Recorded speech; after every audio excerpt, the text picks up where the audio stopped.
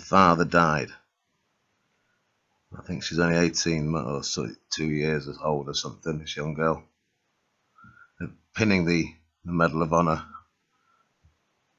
his award, onto her. You can obviously see she is not comfortable. I'm not either. You know why? It's because it's using children at points of emotion and pride and honour using children on the main world stage.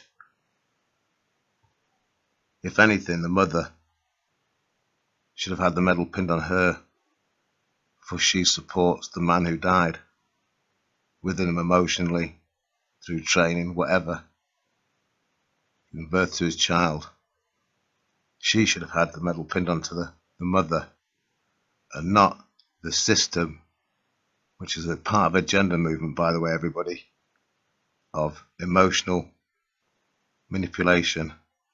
They did it with Greta Thunberg, Thunberg, whatever her name is. You know, not being going to school and all that sort of stuff, type of agenda push. Which I'm not pleased about this one.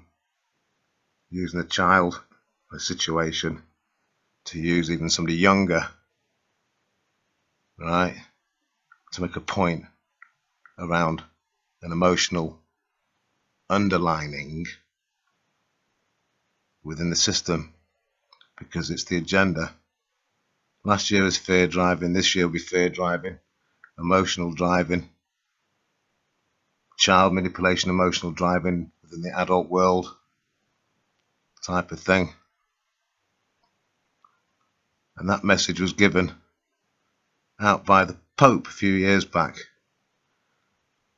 Let's see if I can get an example where he puts a little girl in front of the window where he stood next to her. Yeah, what's the girl's uh, face in this one?